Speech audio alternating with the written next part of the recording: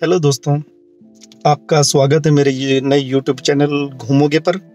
आज मैं आपको अंबाला छावनी, जो कि नॉर्थ हरियाणा का एक बड़ा शहर है, इसके बारे में मैं आपको कुछ बताना चाहता हूँ। लोकेशन के बारे में ये करीब दिल्ली से 200 किलोमीटर दूर पड़ेगा और चंडीगढ़ से 50 किलोमीटर दूर, पंजाब से सिर्फ़ 5 किलोमीटर दूर और अपने हिमाचल और यूपी से ये 50 किलोमीटर की दूरी पे है। तो क्या आप घूमना चाहोगे मेरे साथ? तो आइए चलिए, एक सफ़र शुरू करते हैं अम्बाला छावनी के प्लेसेस के बारे में।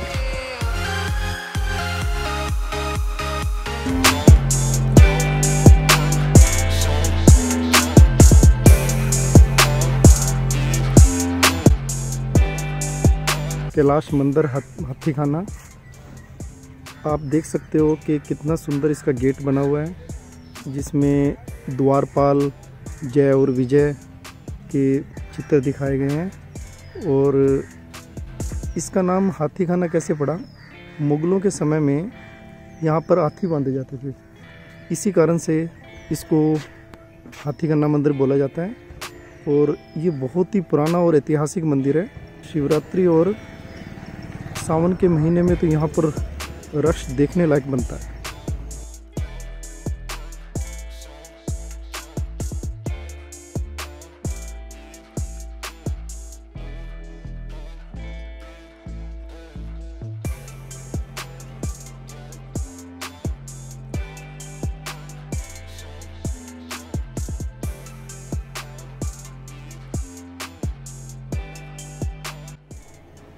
अभी मंदिर खुलने का समय नहीं हुआ है। लेकिन मैं फिर भी आपको अंदर से दिखा देता हूँ कि ये कितना प्राचीन मंदिर है।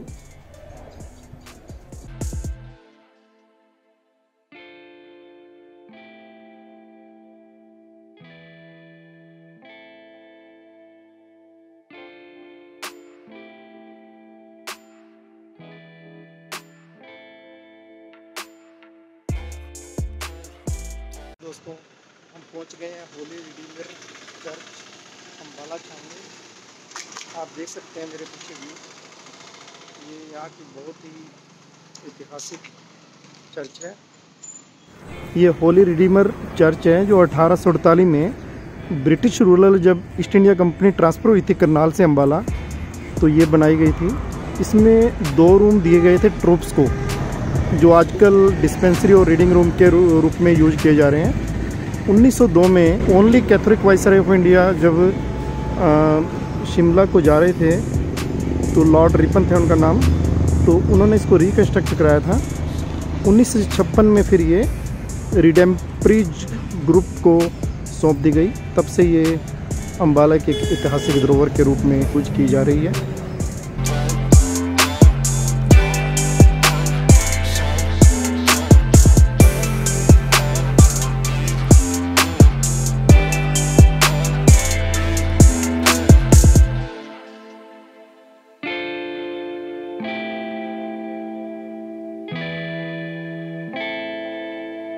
दोस्तों अम्बाला में आओ और अम्बाला की माल रोड ना देखो तो क्या देखा फिर? अम्बाला में माल रोड ये तीन किलोमीटर लंबी है, जो जीटी रोड से लेके मतलब पीछे गोल्फ क्लब तक गई है। और यहाँ पे सुबह और शाम सैर करने का मज़ा ही अलग है। लाइट म्यूज़िक चलता रहता है और लगता है कि पूरा शहर ही घूमने आया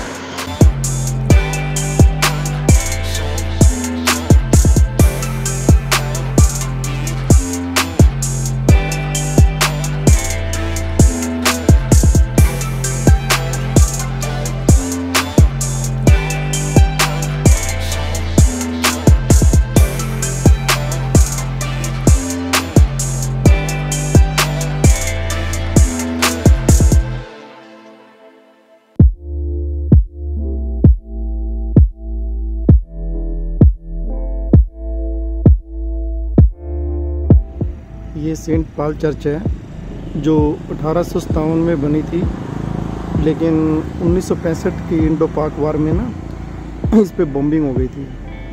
उसके बाद से ये चर्च डैमेज हो गई है, और अब ये चर्च हम देख नहीं सकते अलाउड नहीं है, क्योंकि ये एयरफोर्स स्कूल ने एक्वायर कर लिया है।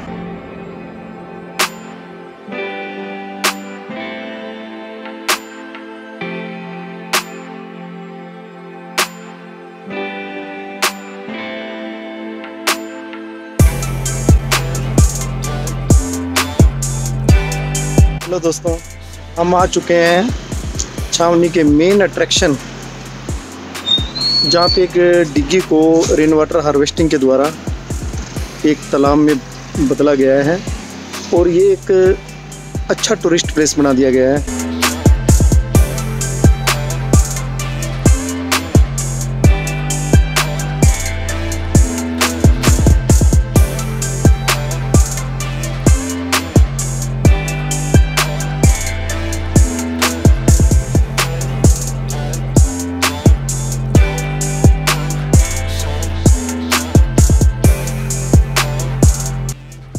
छावनी झील का एक आकर्षक नज़ारा आप लोग देख सकते हैं। पूरे कैंटोनमेंट बोर्ड का जितना भी वेस्ट वाटर है, वो सारा यहाँ पे आके इकट्ठा हो जाता है और वो बोर के थ्रू रेन वाटर हार्वेस्टिंग में यूज़ हो जाता है।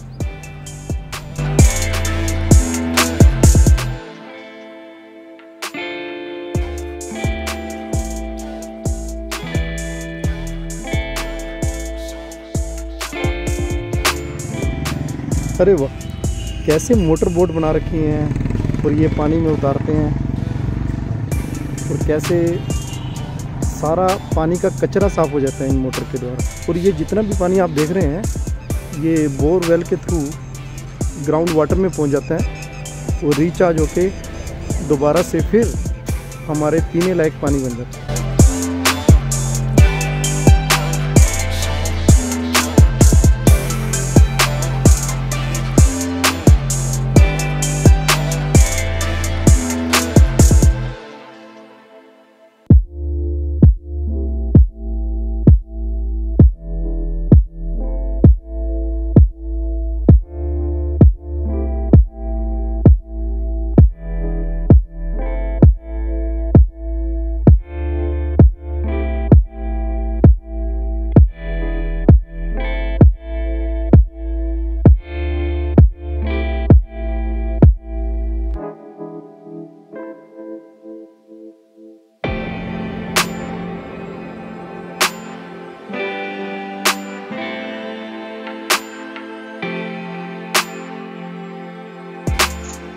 दोस्तों हम आ चुके हैं प्राचीन शिव मंदिर रानी का तालाब में।